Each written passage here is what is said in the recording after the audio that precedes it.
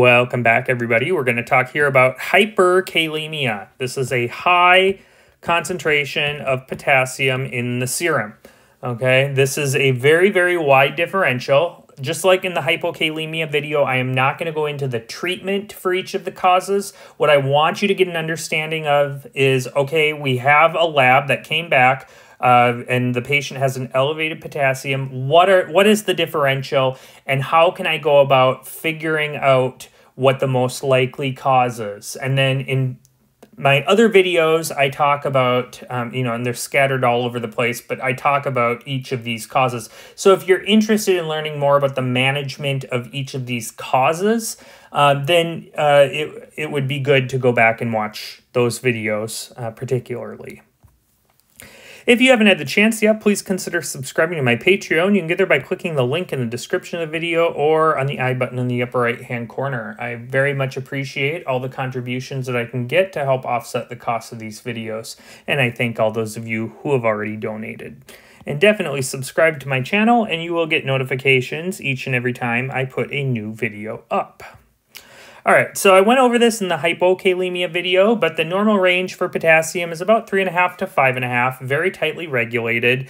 Um, the symptoms of potassium imbalance are very nonspecific, and as a matter of fact, the symptoms of hypokalemia and of hyperkalemia are very, very, very similar, if not the same. The most common thing you'll run into is weakness. What's the differential for weakness? It's probably 50 pages long. So uh, usually you're going to detect this on a basic metabolic profile, and then from there you can um, do your workup. Uh, so the most important labs, of course, a BMP. You won't know if you have a hypo or hyperkalemia without it. Uh, you should also have a serum magnesium and calcium. Get an EKG if they do have hypo or hyperkalemia, but it's even more important for hyperkalemia and then urine electrolytes and creatinine because we want to know are they losing or are they inappropriately um, not losing potassium through their urine. Now, here's some hints for you. You always want, so this is for hyperkalemia. I did a similar one for hypokalemia in the previous video. You always want to look at their medication history. ACE inhibitors are a huge offender. They're very, very commonly prescribed drugs, and they can cause a hyperkalemia. Beta blockers, a little bit less common. Statins, they can cause rhabdomyolysis, so that's important to know. NSAIDs, they inhibit prostaglandins, and that can uh, directly lead to a hyperkalemia. Potassium sparing diuretics, for obvious reasons. Acetazolamide can cause a metabolic acidosis, that can lead to hyperkalemia, and there's some others. Okay, so what if we have a hyperkalemia and the patient's hypotensive and hyponatremic? Then you want to think of Addison's. Addison's is going to uh, is, is going to reserve potassium, preserve potassium in the blood at the expense of sodium. So you're going to have fluid loss and uh, you'll hold on to potassium. So that's um, one possibility. If the patient's diabetic, altered mental status, hyperglycemia, think of DKA. Remember though, in DKA, the total potassium stores are actually low. So you've got to keep an eye on when you start giving them insulin. Um, we are very concerned about the possibility of precipitating a hypokalemia. So you have to be very, very careful of running those serum potassium levels um, frequently. If they have a recent history of seizures, muscle injury, or statin use, think of rhabdomyolysis. If the respiratory rate is elevated, think of the possibility of a metabolic acidosis. Um, the ones that cause hyperkalemia are uh, type 4 renal tubular acidosis, that would be a non anion gap metabolic acidosis, and then the various causes of anion gap metabolic acidosis. If the BUN or creatinine are elevated, consider renal failure. Remember, we take in much more potassium than we need. The kidneys are responsible for getting rid of the excess. If the if the kidneys aren't working, then you're going to have excess potassium in the blood. If the patient has cancer and they're on chemotherapy, consider tumor lysis syndrome. Here's a diagnostic approach for hyperkalemia. This could be useful to you. So one big cause of hyperkalemia is salt replacement. So there, uh, we, we often recommend patients who are hypertensive to cut down their sodium intake.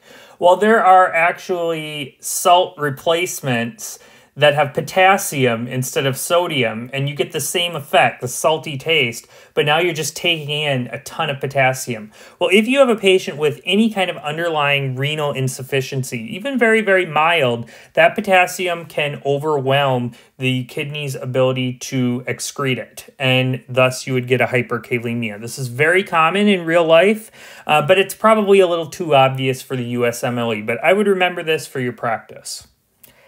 Now, in acidosis, what's happening here is that that acid is going to be pulled into the cells, and in exchange, potassium is going to be kicked out into the serum, and so that causes a hyperkalemia. This almost always presents as a metabolic acidosis. Metabolic acidosis, if it's very mild, may not give any symptoms at all. If it's severe, look for things like um, like Kussmaul breathing or just uh, tachypnea um, you're lowering your PCO2 to try to compensate. Consider all of your causes of metabolic acidosis. Look at the anion gap. That will really help you. If you have an elevated anion gap, look for your mud piles causes. I talk about that in the metabolic acidosis video. If you have a normal anion gap with hyperkalemia, type 4 renal tubular acidosis. That's the only RTA that'll do it. Renal failure. Remember, like I said, the kidneys are our only way of getting rid of excess potassium. So if you have renal failure, it's going to impair that. Look for a patient with a history of renal disease or things that may predispose them to renal disease. Remember, the, the two most common causes of chronic kidney disease are hypertension and diabetes, which are very common. On labs, look for elevated creatinine and BUN. If a patient has hyperkalemia, and they have EKG changes, you really should send them off for dialysis if they have renal insufficiency. Potassium sparing diuretics are um, not terribly frequently given, um, but remember that these diuretics uh, work uh, a little bit differently from the loop and thiazide diuretics. These preserve potassium as opposed to wasting potassium like the other diuretics. Um, but these drugs, as an adverse effect, can cause hyperkalemia. So look for a patient who has just started amiloride, triamterene, or spironolactone, or potassium-sparing diuretics. Spironolactone is occasionally given as a treatment for virilization. Um, they may be given as a treatment for acne, uh, for hirsutism in women um, that have that. Um, if this is in fact the case, then you need to discontinue the drug. Hypoaldosteronism causes uh, increased sodium loss and increased potassium reabsorption. So think of this as just the complete opposite of hyperaldosteronism, which is going to cause a hypokalemia. Uh, so these patients will have metabolic acidosis and hypotension, and that's due to poor fluid reabsorption. They're losing sodium, and anywhere sodium goes, water follows. Um, so these patients will be hypotensive with a metabolic acidosis and a hyperkalemia. What are the causes? Well, Addison's disease is a potential cause. You'll have low levels of aldosterone due to an autoimmune attack on the adrenals. Uh, hyperpigmentation is very common here because we increase ACTH to uh, try to get the adrenals working. ACTH, the precursor for that, is also a precursor for melanocyte stimulating hormone, causes the hyperpigmentation. 21 hydroxylase deficiency is one of the more common causes of congenital adrenal hyperplasia. Look for a very young patient, hypotensive, salt craving, ambiguous genitalia, because all of those, uh, those cholesterol derived hormones will get shunted into sex hormones. Uh, hyporeninemic hypoaldosteronism, look for a patient who is a diabetic who also has renal failure. And there are a lot of other causes of hypoaldosteronism, but these are the three um, that you're most likely to run into on your exam. Rhabdomyolysis is a big deal. Um, I have a video on this, um, but uh, so I'm not going to go into treatment, but this is caused by a breakdown of muscle. There's a number of things that can do this, a crush injury, excess exercise, statins, seizures, uh, neuroleptic malignant syndrome, number of causes. You should know those. Uh, this is life-threatening because this hyperkalemia can be quite profound, can precipitate an arrhythmia, and they can die. Uh, for diagnosis here, if you suspect rhabdo based on the patient's history, get a urine dipstick. It'll show myoglobin in the urine. Um, that will, uh, it'll look like they have blood in the urine, but if you were to do microscopy, you would not see red blood cells in the urine because this is myoglobin, not hemoglobin. Uh, serum creatinine kinase will be elevated. That is an enzyme found in muscle. Make sure and get an EKG. Once you've done that, then you can start treating the rhabdo itself. This is an EKG showing hyperkalemia. So um, generally with these uh, with these limb leads, we don't want the T wave amplitude to be more than two big boxes. And as you can see here, um, you're about to here. Um, you are to. Um, so um, this right here is where it's pretty obvious. So you have a T wave there that's about uh, three and a half big boxes. So look for uh, heightened T wave amplitude that is consistent with EKG changes due to hyperkalemia. So to manage these patients, provide the patient is stable. If they have hyperkalemia, make sure to get an EKG. If the EKG is abnormal or they have rhabdomyolysis, give calcium chloride to stabilize the heart. That will prevent dysrhythmia. And then further workup just depends on the suspected cause. Like if you're suspecting rhabdo, make sure and get a creatine kinase, for instance. Discontinue any offending drug, like if you had the patient on a potassium sparing diuretic.